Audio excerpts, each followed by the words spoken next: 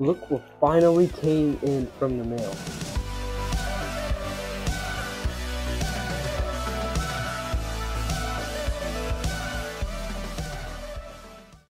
Alright, so basically, what this should allow me to do is tune my bike through an app on my phone. But before we tune it, we need to do a top speed test before we tune it, so then we can do one after, so then you can understand what buying this will do to your bike. Okay, so we're gonna start way down there, and then go all the way down there, and then back here. Okay.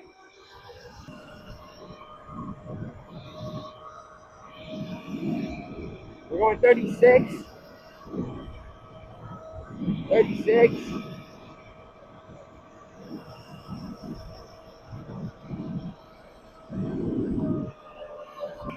We're against the wind right now, so.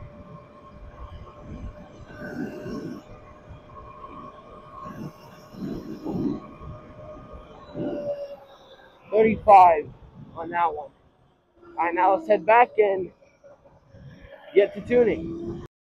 Okay, so first things first, we need to unscrew these.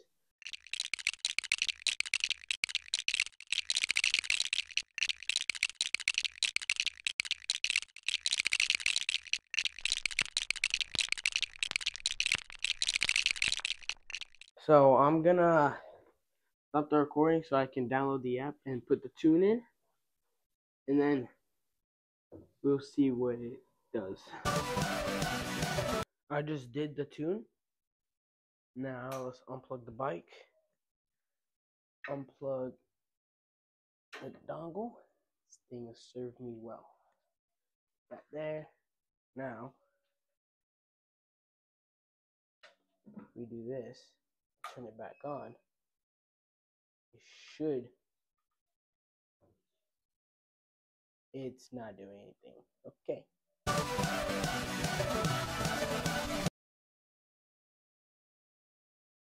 Alright, so we did the new tune. Now we turn off the bike, please. We unplug FarDriver controller.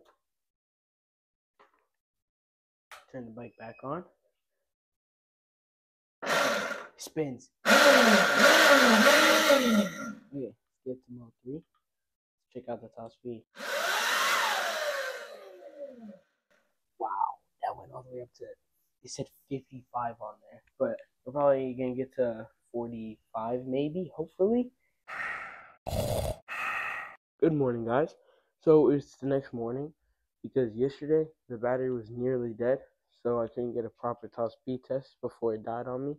But yesterday I got it up to like 40, so we'll see what we get today after it's been charging through the night. So it's got a full charge, and let's see what we get.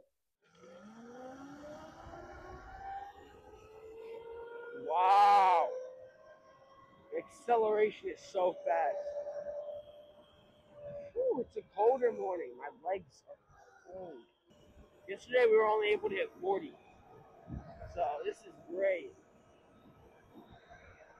Already at 41, 42, 43.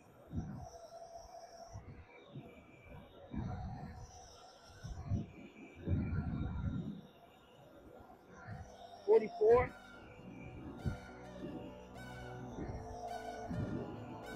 forty-five, forty-five. Whoa, okay, this guy, this guy pulled up. Wow. That is nice. That is very good.